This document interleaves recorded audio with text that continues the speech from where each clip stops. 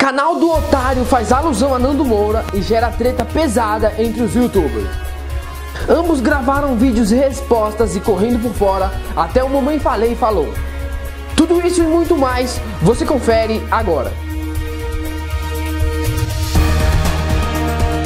Está no ar mais uma edição do New York Treta,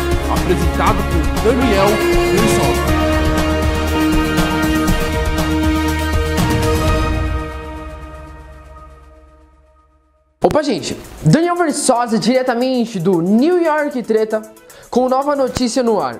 A treta entre Nando Moura e canal do Otário está agitando a internet nos últimos dias. Tudo começou quando em um vídeo do canal do Otário, supostamente ele fez uma alusão ao Nando Moura, colocando no vídeo uma coxinha com uma bandana na cabeça pedindo a intervenção militar. Logicamente esse vídeo chegou até o Nando Moura, que logo fez um vídeo resposta, onde ele explicou os supostos motivos pelos quais o Otário estava fazendo isso. No vídeo Nando disse que o Otário tinha convidado para participar participar de um podcast que de início o mesmo aceitou numa boa. O problema começou quando o Nando decidiu comunicar às pessoas que cuidam de seu canal. E foi aí que o rebuliço começou. Alguém informou ao Nando que o otário já tinha zombado da morte de seu pai, juntamente com também o youtuber Maestro Boggs. Após saber disso, o Nando desistiu de participar do podcast pelo fato de não se aliar com covardes de merda. Isso segundo o que o mesmo falou em seu vídeo. Após esse vídeo do Nando Moura, o otário resolveu postar um vídeo explicando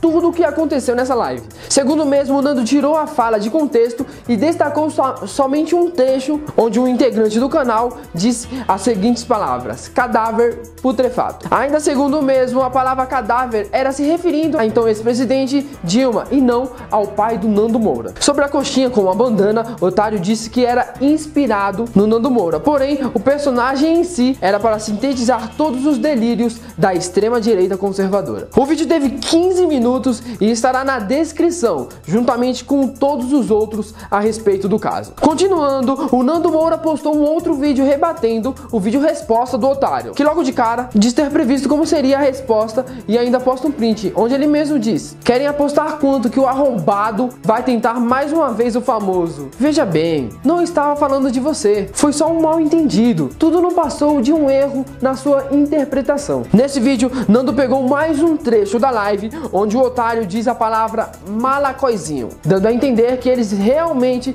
estavam se referindo ao Nando Moura. Segundo isso, no vídeo do otário, há várias pessoas dizendo que quando ele disse malacoizinho na live, ele estava se referindo a um inscrito que acompanhava a live pelo chat. A treta ainda está rolando e a qualquer momento podem surgir mais respostas de ambos os lados. Na descrição haverá links para os vídeos que foram mencionados aqui. Além dessa discussão, o Mamãe falei resolveu falar, afinal, ele também foi mencionado no vídeo do Nando Moura. Inclusive, ele apareceu dizendo não gostar do músico. Em seu vídeo, ele explicou o porquê ele disse isso e ainda deixou claro que o Nando Moura é sim uma boa pessoa. Inclusive, o convidou para brigarem juntos contra o Estado na economia. Todos os vídeos sobre o caso estarão aqui embaixo na descrição. Agora com vocês, depois de entenderem toda essa história, como concluíram esse caso? De que lado você está? Deixa aqui nos comentários. A edição do New York Treta vai chegando ao fim.